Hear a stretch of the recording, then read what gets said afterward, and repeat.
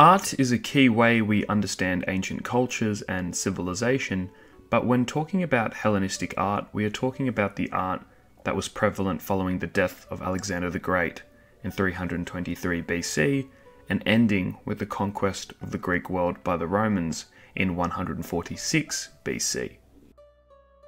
In particular, Hellenistic art aimed to represent individualism and emotions within human experiences. However, Hellenistic art aimed to imitate classical figures too and also create three dimensional art.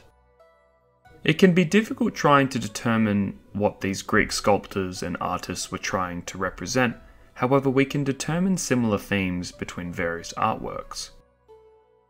Hellenistic art aimed to portray the necessity of emotions in human experiences, with one of the most famous portraits at the time, the statue of Demetrius I of Syria, presenting the Seleucid king as masculine and muscular. He holds a spear in hand and is aggressively demonstrating his power and supremacy because his body is absolutely enormous with respect to his head. The statue of Demetrius of Syria stands at a whopping 7 foot tall, with the portrait emphasizing his brute force and power, and his facial expressions demonstrating the intensity of battle and toughness in becoming a Greek warrior. It's further exacerbated through his tight muscles, which evidence his tension and stiffness, arguably reflecting his stress from constant military activity and the fear of battle. Now, this is important because the Hellenistic kingdoms were always fighting, they were in forever wars, constantly battling with one another. So, the Hellenistic art is aiming to reflect the military, social, and political tension during the Hellenistic period. Hellenistic art portrays other Greek rulers like Alexander the Great, Pericles of Athens, Ptolemy I Soter, and Antiochus III, with the statue of Antiochus once again presenting determined facial expressions, seriousness in the face, and a cloth band over his head acting as the equivalent to a crown. Another similar style from the Hellenistic period was the sculpture in the round, where art was designed to look three dimensional. This was a key differentiator between classical and Hellenistic art, and the artwork that really reflects this style was the Apoxyomenos of Lysippus, which depicts a young man actually removing oil off himself after physical activity. The arms, the leg, and the head of the Apoxyomenos all stand out from different angles, the art was designed for viewers to look at him from all angles. The arms of the figure are actually extended and cross in front of his body, suggesting that he is unstable. Now, this is quite different to the portrait of Demetrius of Syria, if we think about that, with the Apoxyomenos portraying emotions of instability and uncertainty during the Hellenistic age. While Hellenistic art liked to focus on people in positions of power, Hellenistic art also involved religious dimensions too. The praying boy sculpture presents a religious theme to human emotion.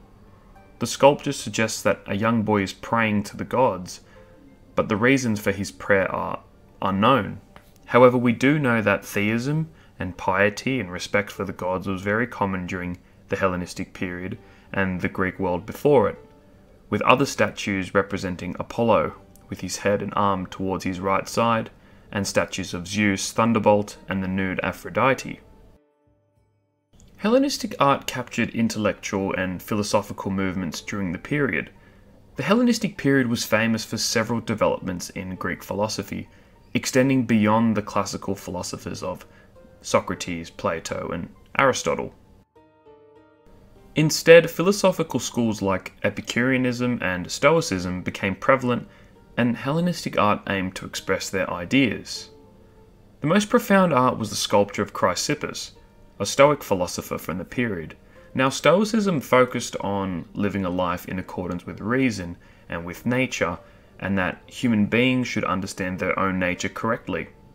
The Stoics thought that this was crucial for human beings to understand what was in their control, their ability to change particular circumstances, and as a result, their own happiness. The sculpture of Chrysippus represented the Stoic philosophical tradition and how the Stoics would reason and communicate with each other. This is because Chrysippus is hunched forwards and is leaning on his elbow with his right hand extended. His baldness and beard symbolizing his loss of lavishness and style, but instead replacing that with his obtainment of wisdom and knowledge. While Hellenistic art reflects power and human potential, there are some artworks that point to the contrary. The drunken old woman statue depicts a lady holding a wine jar and under one meter tall. She's drained from the constant drinking and arguably reflects drunkenness and the flaws of it in ancient Athens. There are also some depictions of men inspecting their own feet, perhaps reflecting the lives of ordinary people instead of figures of power and prestige. But that brings us to the end of the video on Hellenistic art. I'll be doing a video on Hellenistic philosophy very soon, but if you enjoyed the content, be sure to like, comment, and subscribe. It really helps me out a lot.